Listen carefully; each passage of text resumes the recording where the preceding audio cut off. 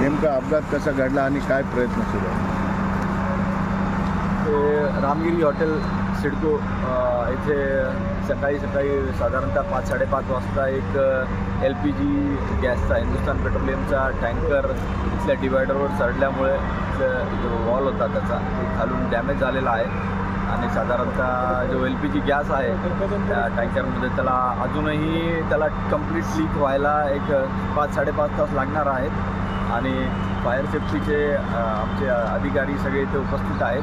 आणि फायर सेफ्टीचे जवान आपण बघत असाल मागे तिथे त्यांचं त्याला कंट्रोल करण्याचे काम चालू आहे. पण तरी पण अजून पण पाच साडेपाच तास लागणार आहेत. तर या जवळपास पाचशे मीटर एरिया रामगिरी हॉटेलमधल्या सर्व लोकांनी कृपया आप- कुणी आपले गॅस सिलेंडर किंवा इतर इलेक्ट्रिकल इक्विपमेंट ज्यांनी स्पार्क होऊ शकतो असे चालू ठेवू नये.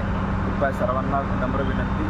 आणि इलेक्ट्रिसिटीची लाईन आम्ही ता तात्पुरती तेवढा का आम्ही बंद केलेली आहे.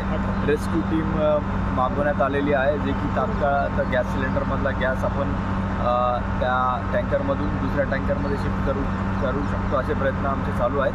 तोपर्यंत कृपया कोणीही पाचशे मीटर एरियामध्ये रामगिरी हॉटेलचा कृपया तुम्ही इलेक्ट्रिक आणि गॅस सिलेंडर वगैरे चालू करू. ही नम्र विनंती. धन्यवाद.